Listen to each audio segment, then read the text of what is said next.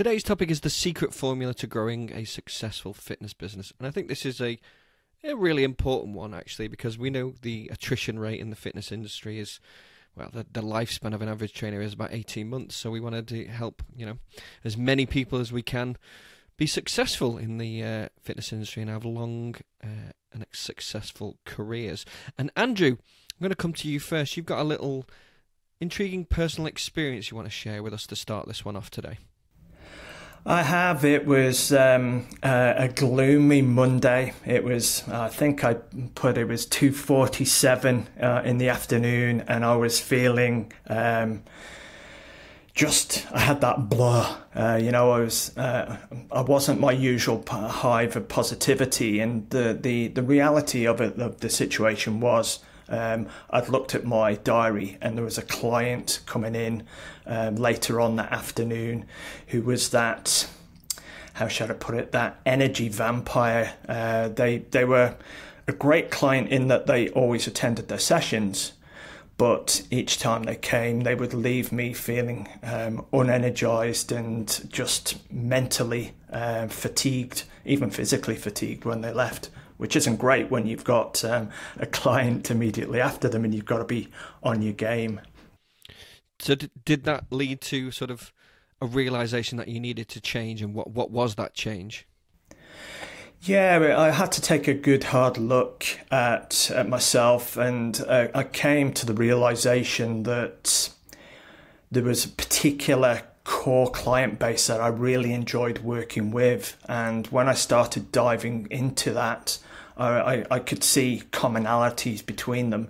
In later down the line, I realised that this was the process that we take clients through now. Uh, one of the first processes that we get people uh, to go down when they're mapping out uh, their marketing and planning their businesses. Who is your ideal client avatar? So in doing that, I was able to identify who that person was um, what their challenges were, and that enabled me then to get clarity on the type of marketing and the message I needed to relay um, out to them that would resonate with them and lead them into um, a conversation uh, with me about coming on board as a potential new client. So, yeah, it was identifying the new client. So, step one of the secret formula is who is your ideal client? James, do you want to share a little bit uh, from Strength Matters perspective, excuse me, about uh, client avatar, why it's important? Yeah, like it's important because it it's it's a part of you and who you do it. You want to hang out with people that you you like and want to be a part of, and you want to help them, and and you can you have shared common interests. There's nothing worse than trying to help somebody who doesn't want to be there or is thinking completely different to you. It's just like a coming together of minds, and it's just looking, asking for friction. You really are. You end up butting heads, don't you? Yeah, massively. You end up butting heads. It's different values, and you're not going to help each other. You're going to just frustrate each other. I'll, I'll give a couple of examples. You know, with people who come into us who want a certain thing for their website, for example, but they're not prepared to meet certain demands we have at the start. So I just know rather than trying to chase them, I just don't want them. I don't want them anywhere, near what we're doing them because they're going to be, become problem children later later down the line. And that, if that makes sense. So, and the same with clients. Like if, if clients say, "No, I'm not going to do this today. I'm, I'm going to do my own thing," they're problem clients because they don't buy into your values and who you are and what you're trying to do. So, establishing who your client avatar is is the most important thing and the most important secret to growing your fitness business.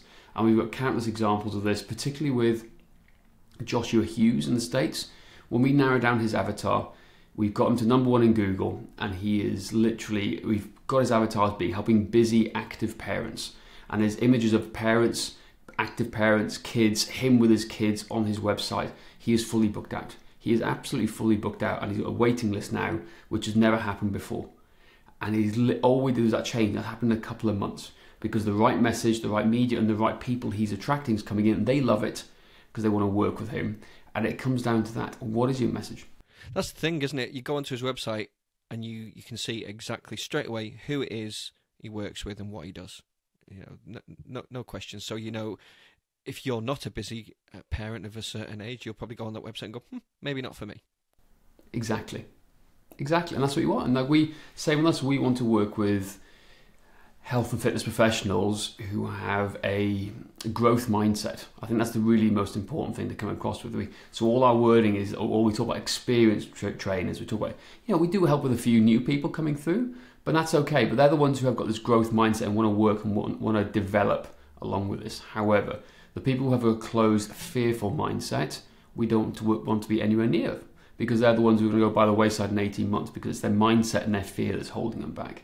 So for us, client avatars, everyone, we're to attract the right people, and this is why we spend so much time with all of our clients before we build. A website building is easy, but the client avatar is the hardest part. That's the hardest part. Absolutely. So, number one, identify your ideal client. So, get working on that straight away. Uh, Andrew, I'm going to bring you back in. Number two, locating your ideal client. Do you want to talk us through that? Absolutely. Um, once you know who that person is and you've got a better picture of, of who they are, what newspapers they read, what hobbies and interests, pastimes that they might enjoy, then you'll start to build a bigger picture of where you can find them. And what I mean by that is where you can find them both online as well as offline because at the end of the day most of us are, still local based businesses so we work face to face with people um, on, on a day-to-day basis. So we can do a lot of our work online which if you work with many marketing companies that are pushing you into uh, running Facebook ads and the likes, but that might not be the best course of action, and it's certainly not the first course of action that we recommend. And if I think about when I came to the realization that my clients predominantly were lawyers, they weren't on Facebook. Uh, they were in LinkedIn and they attended various different um, uh, events, um, business groups, and of course they were parents as well, so they would attend uh, schools, uh, school functions, and the likes. So I knew partnering there and going to upmarket hair salons and massage parlors uh, were uh, massage bars and salons and the likes, they would be uh, got to be careful here with the different types of massage parlors here. Um, yes. Uh, um, but but thinking about some of those clients, potentially they were at those massage parlors. Um, who knows?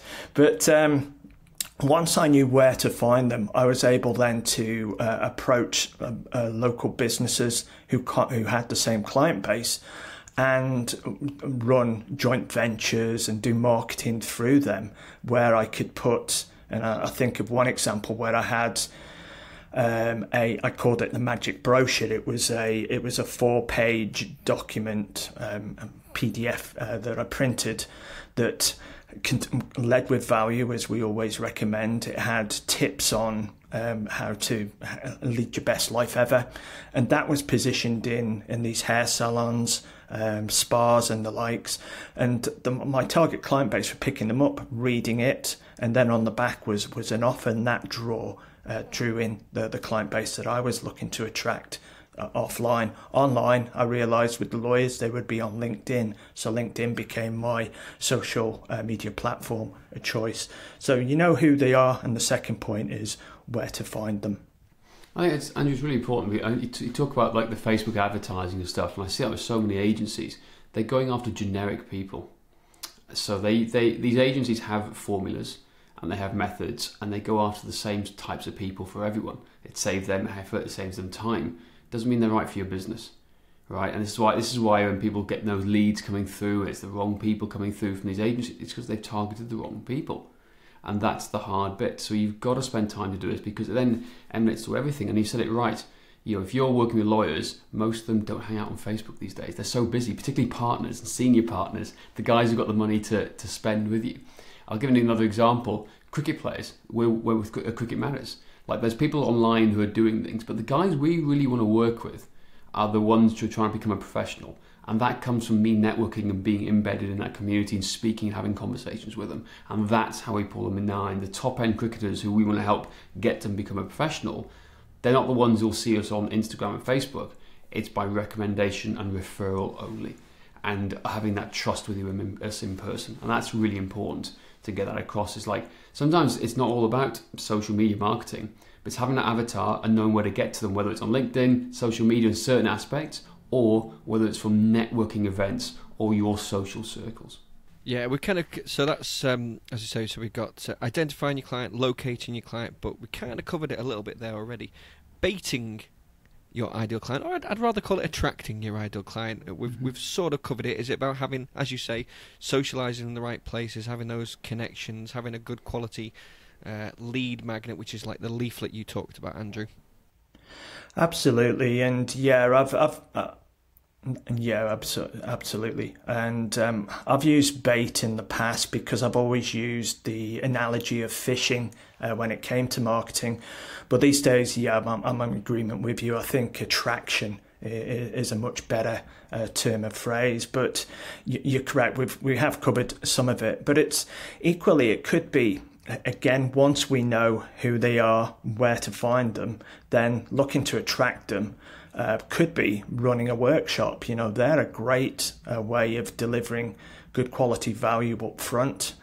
Um, basing it on you know how to squat effectively or you know how to you know how to train with a kettlebell um, things off the top of my head would be uh, good but equally you know busy parents if there's um that they're struggling to think about what uh, they want good nutrition for the family, but they're unsure of how you know what meals. So if you could give them a nutrition plan and um, meal planner um, as a download, then that's a great starting point because now, no matter what you um, offer uh, in terms of a lead magnet, they're now on your list, and you can build rapport, build that relationship, and build trust um, through uh, a, a welcome email sequence. So.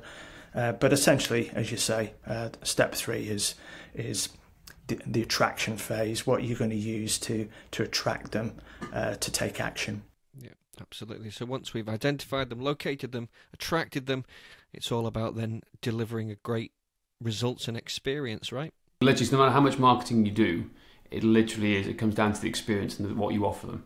So you can you can attract them with all the bait and all the clickbait and everything in the world. Unless you deliver a great, exceptional experience, it's going to go by the wayside.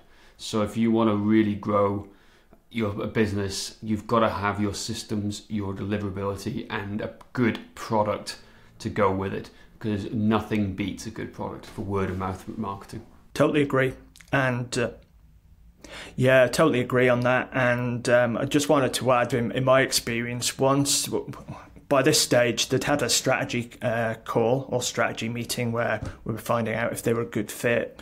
Then that moved into consultation. We, we call it discovery session.